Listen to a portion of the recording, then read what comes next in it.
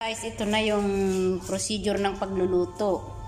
Lagay ko na siya sa kaldero, nilagyan ko ng tubig, kayo, pero kailangan mong may takip siya dito sa loob para pag inilagay mo yung ano, ganaman Mimi. Lagay mo yung para hindi siya bubuka. Look. Lalagay ko to habang ano, lalagay ko tong kaldero sa top niya para hindi bubuka yung mga niluto. Yan. Yan ang procedure ng pagluluto ng sala. Para sa pag madaganan siya, hindi bubuka yung nag na stuff na Bayot sala. po. Ganyan siya, guys.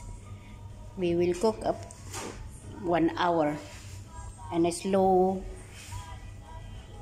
fire. Okay guys, thank you very much. Please don't forget to subscribe my channel and promote and ring my bell button and share. Thank you very much. Bye bye.